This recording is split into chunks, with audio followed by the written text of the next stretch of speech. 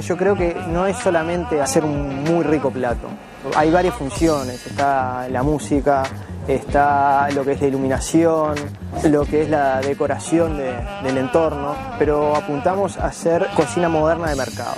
Nos basamos en lo que hay en el mercado y de ahí eh, partimos a crear platos.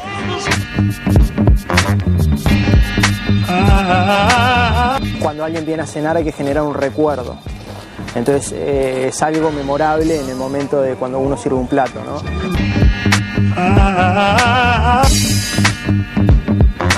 La cocina que hacemos es la especialidad eh, la cocción en hornos de barro. Eh, cocinamos vegetales, pescados, carnes, aves, muchos vegetales, hongos. Esta temporada para nosotros está siendo la mejor temporada desde que abrimos, hace cinco años. La gente se va muy contenta y, es mucho, hay muchos restaurantes buenos en la zona. Lo que es bueno porque la gente también le permite rotarnos, que vengan todos los días a comer acá o allá.